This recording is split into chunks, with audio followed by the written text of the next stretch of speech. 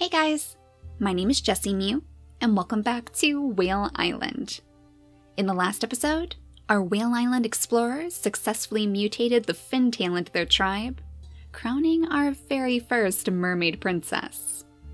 Lapis is now sitting high atop her throne, trying to call out to any wanderers who may have gotten stuck on this whale as well.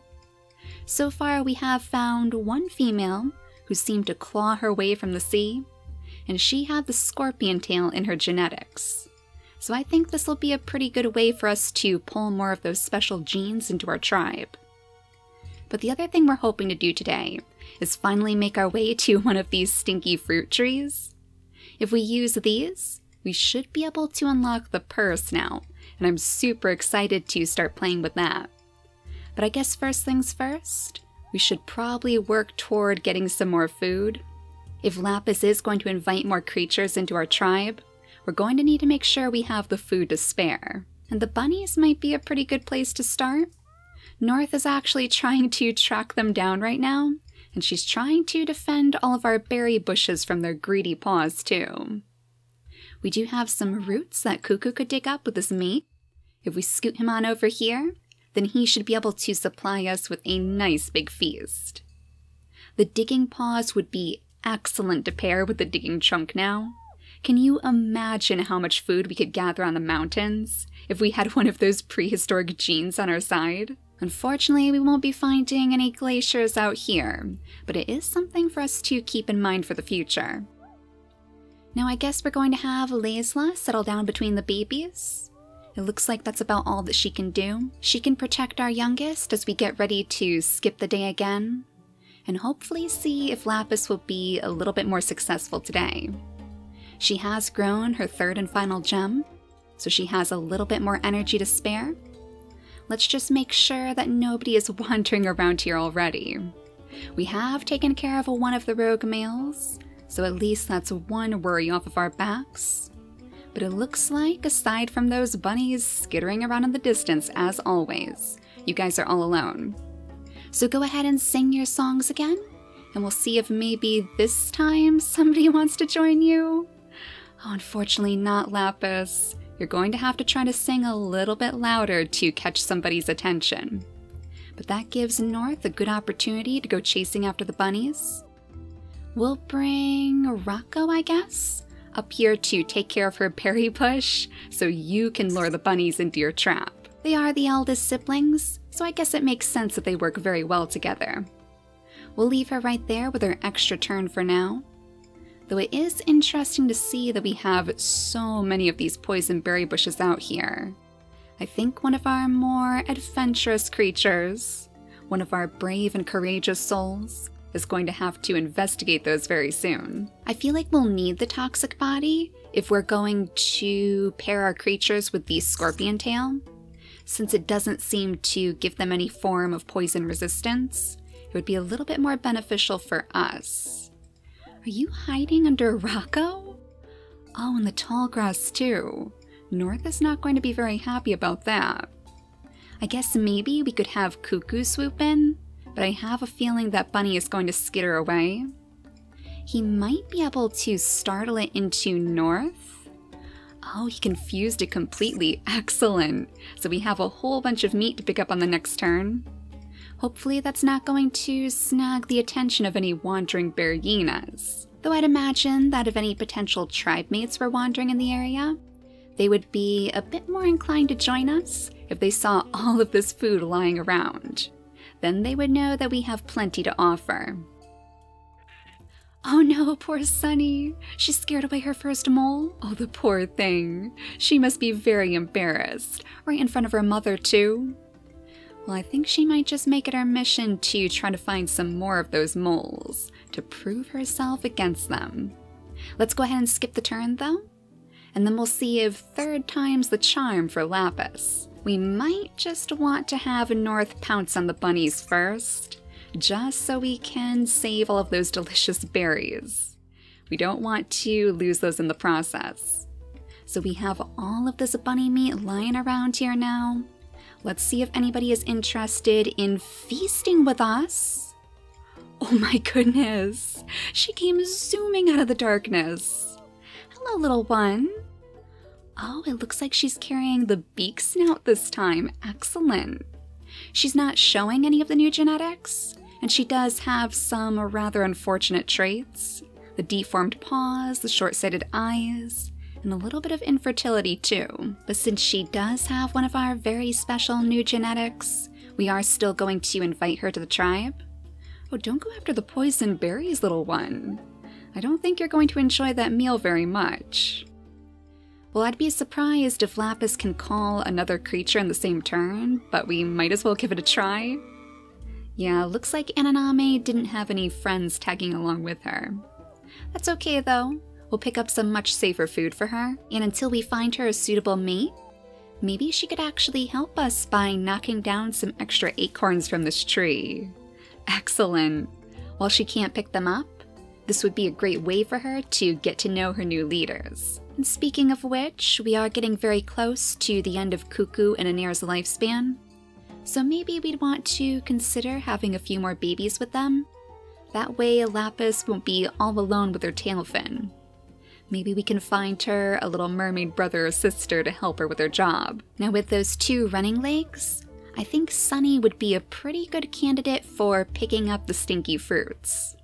So even though she's rather young, we'll bring her up here to join North, and we'll see if on the next turn they can get to work picking up all of those stinky fruits. We might as well give Elazla the chance to have another baby too, so we can keep spreading that scorpion tail all around the tribe. But for now, it looks like that's the end of our turns, so we'll go ahead and skip the day again. So far, we've been pretty lucky with the Barrienas too. I know the previous time I attempted to conquer Whale Island, the Barrienas were absolutely everywhere. So far, this place is quiet as can be, aside from the rogue males in the grass. Oh, he's actually super close to Lapis. I guess all of her singing has attracted a little bit of unwanted attention too. So Gruel, maybe you could actually stand guard for her? Just so we can smell a little bit further into that tall grass and make sure he doesn't get too close. I think I'll actually leave her there with all of her turns, just in case we need to slap him away. Though in all honesty, we might need to move her to a different throne, one a little bit further away from that very dangerous savannah. It seems like this is where all of the rogue males are lurking, so we might just be a little bit too close to their territory. Maybe Gruel would even be the one to urge her to leave.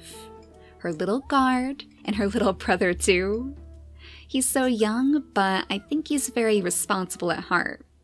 He probably wants to make himself seem a bit older than he is. So that's why he's taking his role so seriously. He doesn't want anyone to treat him like a little kid. Hopefully our two mothers will be able to make their way over to the nest though. We'll have Elazla scoot to this nest, and then Cuckoo can help us out by breeding again with Anair. That'll leave most of the acorn cracking to Rocco, unless he needs to go chasing after the bunnies instead. Just while North is busy. So let's bring you two down to our very first stinky fruit tree, and we'll see if you guys can get to work. So the purr snout takes 30 licking actions in order to unlock it in our mutation menu. That means that we could lick our creature's wounds if they were injured, but we can also use these fruits to our advantage. When one of our creatures interacts with this tree, they get a little debuff on them that allows our other tribe mates to lick off the stinky juice. So far, this has been the fastest way that I've found to unlock the purr snout, especially on the Whale Island when there aren't any leeches. Though if you do have leeches swimming around, you could also leave it on one brave creature and just make sure that you lick their wounds every single turn without taking the leech off of them. They won't actually take a damage as long as you lick the wounds, so that's another way to work around it if you don't have the stinky fruit trees. But here's our wandering male friend, and it looks like this one might be sick too. He still doesn't have any of those special genes, so I think Mama Anair is gonna have to use her ram horns again to send him packing. Hopefully you two can draw his attention, because I don't want him noticing Ananame. With her deformed paw, A baby between them could end up being a disaster. Oh my gosh, do we have another one out here too? Oh, there are so many rogue males in that tall grass. Yeah, we are definitely going to have to move our creatures a bit further away from the savannah. I'm sure it won't stop them entirely, but it has to be better than this. There's plenty for us to explore out here anyway, and it looks like there's a lot more resources for us to use to our advantage. So after you two have your next babies, we'll see if you can find a better place to set up your nurseries. So let's see if we can sneak another mermaid into our tribe before they're all ready to pack up and leave. No, I don't think he has. Oh, wait a second. He does have the tail fin. He was hiding it right behind that big crown of ram horns. So now Lapis is going to have a little singing buddy, as long as we can find him another good stump to set up on. Another good throne for one of our royal mermaids. The next name on my list is Echo, so welcome to our tribe. You know, I think we actually had a very royal member of the tribe of the Tides who was named Echo too. So this is kind of a callback in a way of our former king of the sea. And as for you, little one, do you have that lovely scorpion tail in your genetics? Alright, so now we have two females who could possibly pass that on to one of their babies. And she's very pretty too. She has spots just like her father does. And she also has those two running legs. So she'll be another good one for us to take out exploring, looking for food to bring back to her family. The next name on my list is Freckles. So welcome to our tribe as well. And now we'll have to be super, super careful as we try to maneuver our way around these rogue males. We might actually want to bring both of their mates back to the nursery. That way we could breed them again just in case, because they are absolutely relentless, and we don't want to make any mistakes. If we move Araco all the way down here, then he should be able to block the advances of the rogue male in the grasses. And then hopefully we can breed you with Laisla again, so she'll be free to move. Then as Laisla watches after the babies, as always, gathering all of those berries along the way, we should be able to scoot Anair to the other side of the rock, so she can breed again with her mate too. And now you guys are free to pack up your nurseries as soon as your babies are old enough to do so. But oh my goodness, all of these bunnies! You guys even have a little bunny friend helping you pick the stinky fruits? Well, this is quite the turn of events north. I didn't think you were quite so friendly with these bunnies. It looks like they even stole every last one of the berries next to Sunny, too. But if you wouldn't mind, Sunny, go ahead and lick the stinky smell off of North for us, and then we'll have them both pick some more and do it all over again. One at a time to maximize productivity. Now, we will want to make sure that we pick up the few acorns we still have under this tree before we do eventually move all of our creatures away, just so we don't end up leaving any extra food lying around. And Aname can help out with the berries, maybe pick up some of the extra grass. That way we might be able to see any wandering creatures who happen to hear Lapis singing. And Gruel, of course, dutiful as ever, can settle himself down right in front of her stump, eager to guard her from all of those bunny fiends. Go ahead and sing your songs one more time as the bunnies dance around your kingdom. Unfortunately, they're the only ones who seem to notice today. Now we'll have to see if we can sneak the ladies away without showing the rogue male where we're going. We don't really want him to tag along in our shadow. Oh, did you see that? There was like smoke coming up from this tree over here. Wait a second, was that water? Is this like the whale's blowhole? Oh my gosh. What happens if we set our creatures up right next to it? Do you think they get injured? Or do you think they go flying off the whale? We might have to have yet another one of our brave explorers investigate that too. Kind of unfortunate that it's right under the tree.